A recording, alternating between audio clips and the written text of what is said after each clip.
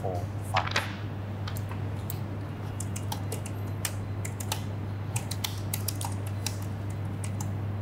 Bit different from my day. You have no idea. Mike, can I borrow your phone? What is it this time? Dead signal? I left mine in the mortuary cabinet. Here, use mine. Thank you. Oh, this is an old friend of mine, John Watson. Afghanistan or Iraq? I'm sorry, what? Which was it? Afghanistan or Iraq? I- Iraq. Oh, coffee! You know? Thank you. Molly, what happened to the lipstick? Oh, it, it, it wasn't working for me. That's a shame. I, I thought it was a huge improvement. Your mouth looks small now. How do you feel about the violin? I'm sorry, what? I play the violin when I'm thinking, and sometimes I don't talk for days on end.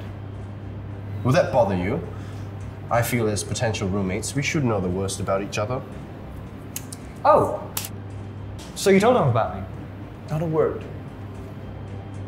Then who said anything about flatmates? I did. I said to Mike this morning that I was a difficult man to find a roommate for. Now he turns up after lunch with an old friend, clearly home from service, in Iraq. Broke. Wasn't a difficult leap. How do you know about I've got my eye on this nice little place in Central.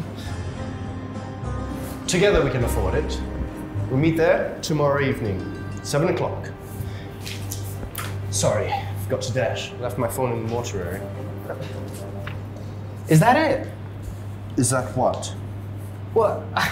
We've only just met, and now we're going to see flat. Problem? I mean, yeah, we uh, we barely know each other. I don't even know your name, and now we're going to be roommates. Well,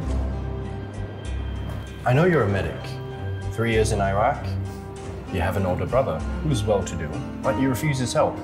Maybe it's because of his drinking. Maybe he's left his wife. Hmm. But I think it's your pride.